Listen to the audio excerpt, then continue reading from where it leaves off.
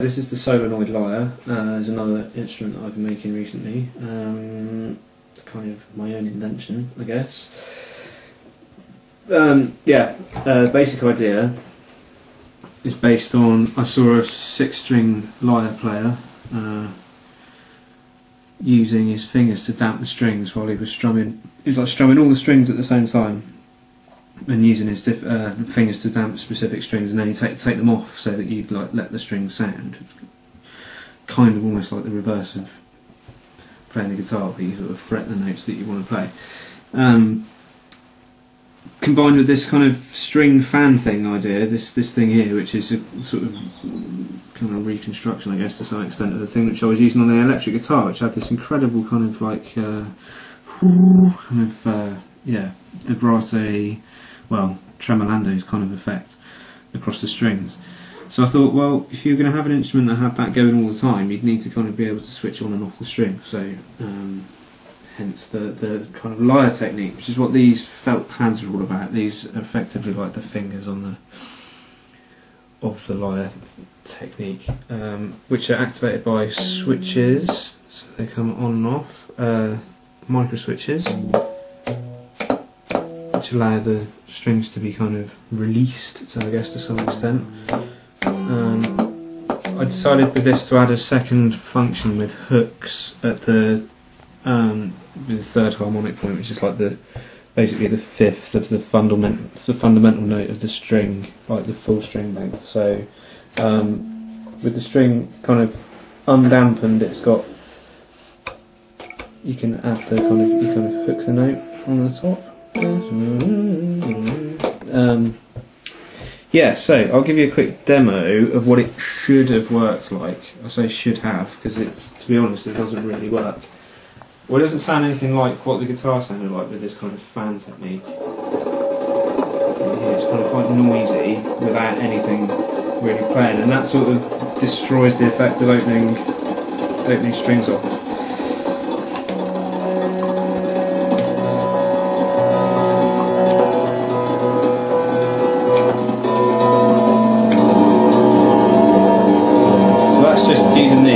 And then um, I can add in the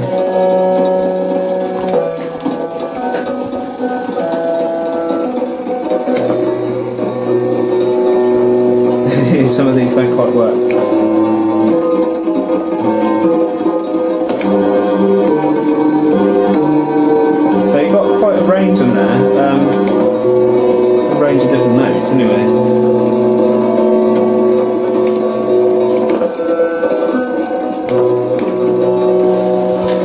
Initially, this was going to be part of a set. I'll just switch the fan off. Initially, this was going to be part of a set of um, like automatic instruments.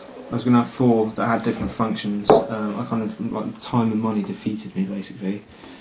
Uh, and yeah, I just kind of focused on this and the, the harmonics guitar or harmonic guitar, which is the um, there's another video by me about that. Um, so yeah, it was good. Like I think in the context of it being of um, other automatic instruments that would be making continual noises, I think it wouldn't have been quite so. Uh, don't know. I sort of feel like it's been a bit of a failure to some extent. Um, it's. I mean, it's not because a lot of these things work, which I didn't even didn't even know whether they would or not really. Um, the body is made from sycamore. Uh, the the bridge.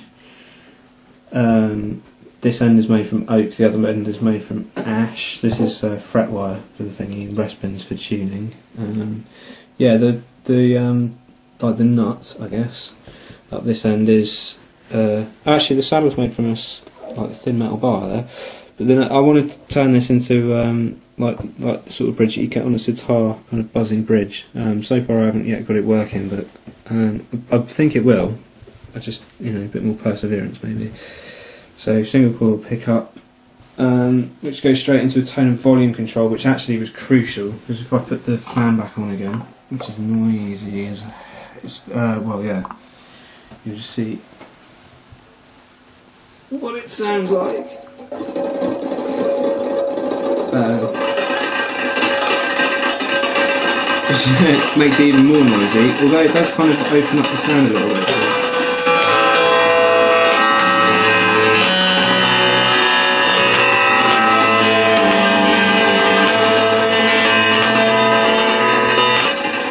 So yeah, I guess it's kind of a that's it.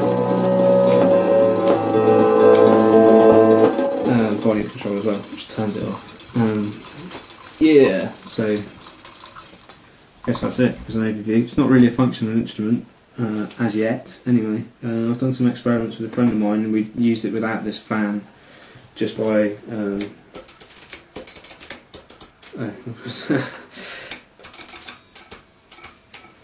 one.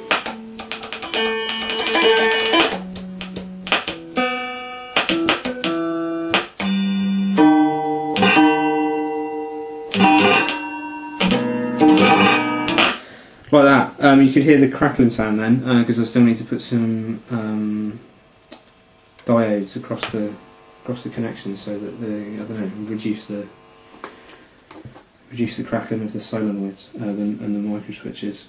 Um, so yeah, that's it. Um, say, it's kind of a, it's like a prototype really. It's a work in progress. There's several ideas that I'm going to take further from this. So yeah, watch this space.